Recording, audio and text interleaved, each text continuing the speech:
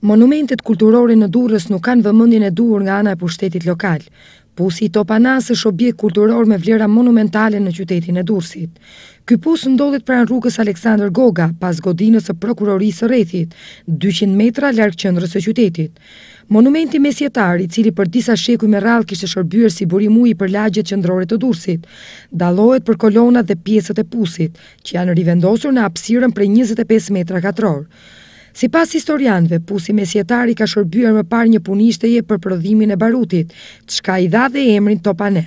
Por sot, veç një rrethimi që i është bërë me kangjella, ky pus nuk ka asnjë vëmendje tjetër nga ana e pushtetit vendor. Ai mund të dëmtohet fare lehtë nga keqbërësit dhe nga institucionet që janë pranë tij mbeturinat hidhen fare kollaj.